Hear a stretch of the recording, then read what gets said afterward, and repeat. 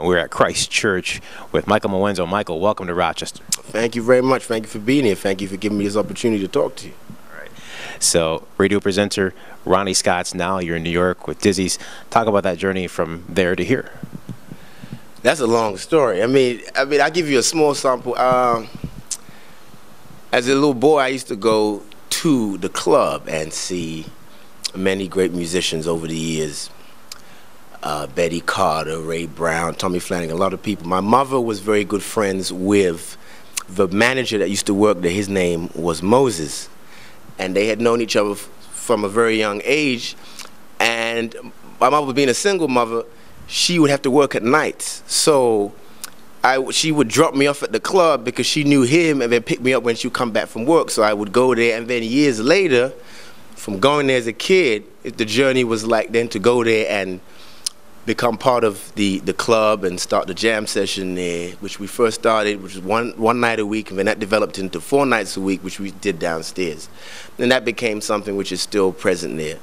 And that's the late show and the jam session they have, which is, yeah.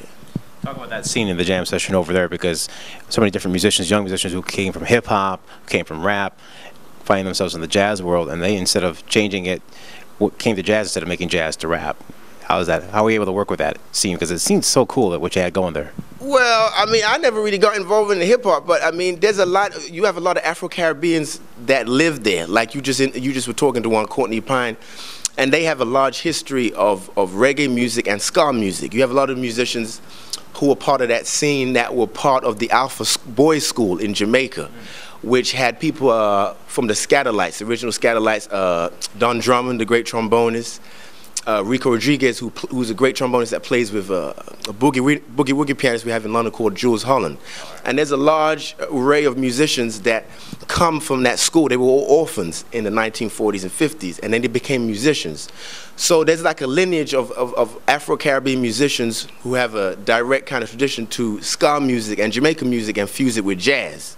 So there's a lot of musicians. Courtney Pine, he kind of does a lot more of that now. He brings a lot of that of his heritage into the music and a lot of other musicians too. But I was never really part of that per se, but it's definitely something that was is unique to how musicians there in, in London, those kind of musicians deal with the music. And then there's other styles of music too, and how everyone deals with the music in, in their own personal way.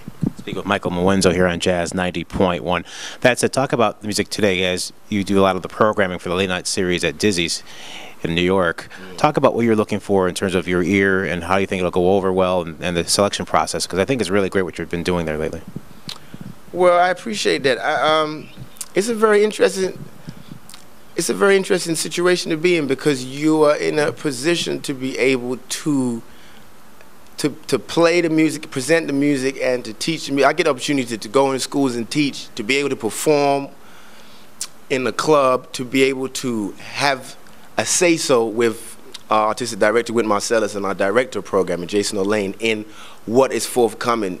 And, and that's a very unique experience for me because to be with someone like Wynton, who has his, his understanding of the music, what he wants, and for him to give me the opportunity to have my say so is, is a very unique situation for someone because you know I, I come I was born in Sierra Leone and then I came to England and then now I'm here. So that journey for me is unique. And to be able to for instance now I'm just I'm, I was just talking to, to Jono who's, who helped us come here. He works at Jazz Lincoln Center. He works in education. And I was just telling him about Benny Golson. We're trying to get him for, to come into the club next year. And to be able for me as a that little boy that would see Benny Golson as a kid in London, not for me to have a correspondence with him and get him into the club and email with him and talk to him on the phone. For me, I'm just like, it's a dream. It's a dream for me, you know. And the music is, is, is, is continued always to be a blessing, you know. Speak with Michael Mwenso here on Jazz 90.1. That's it. As a performer, who are some of the people that you inf influenced you, and when you perform, how would you describe your style? Mm -hmm. Well, I'm still I'm still trying to work it out. I mean, it's, it's always you know I'm telling you it's it's well you know you talk about there's an array of artists who inspire me, and the whole diaspora of the music. Like we just had one of them that died yesterday. That was a deep influence on me. You know, I saw him live twice. Bobby Blue Bland. Now he was, for me, he's one of the greatest singers of the 20th century. One of them mm. for what he did in his form then Billy Eckstine, then Andy Bey, then Jon Hendricks, then you know uh, Russ Columbo, you know, then it could be Johnny Taylor. It matters for me. It's always for me the person who has the greatness of their artistry in the form that they create. So Jon Hendricks is great at his form, but then Bobby Bland is great at his form. You know, I would say like uh, same church, different pews. like they are great at what they do. You know. That said, so how do we reach this music that we call jazz to the next generation, to kids, let's say, who are just being exposed to jazz or, or blues for that matter? How do we get them to enjoy this music and understand this music? Because sometimes we feel there's, there's kind of a gap between us and them, and where there shouldn't be, especially with music that created by African Americans. Well, art art is always gonna have its hardship of getting to people because it's art. You don't just read Shakespeare one day and get it you have to read it again and again and again. And that's the thing about anything that has potency. Um, it's like your mama cooking you food or something like that, and you don't like it at first, but then you like it. And, and jazz is, is very much like that. It's something that it has to grow on you because it's part of your humanity. And you just you might not like it straight away. There's a lot of musicians I didn't like straight away, you know. But as I've gone through things in my life, ups and downs, uh, they've they've been prevalent to me.